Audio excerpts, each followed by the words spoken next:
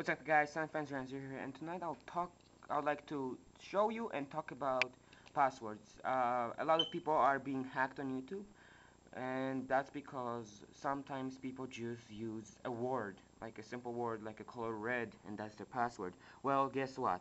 That sucks because that password will not protect you at all. Well, that's where PC Tools Password Utilities comes in. Link below right now, you can download it for free or you can just use their website and you know you don't have to download this. So it's really simple. You just select how many letters you want in the password.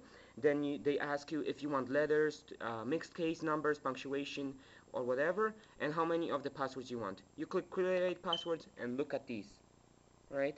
Uh, it's kind of uh, hard to see but the first password is big Q, K uh, small q uh, dollar sign J big J big T small b W6. This, this password is, wow, it would be pretty hard to hack that password than, you know, just typing in red, you know, so I hope that this will help you with your password needs, you know, because this is awesome. This is a random generator, and if it's random, then how random can it be that another person could, you know, be able to know it? Sun Fans here, nice here. Signing out, please be sure to subscribe, add me as a friend, and I hope you guys enjoy this program. Comment, really appreciate. Bye, guys.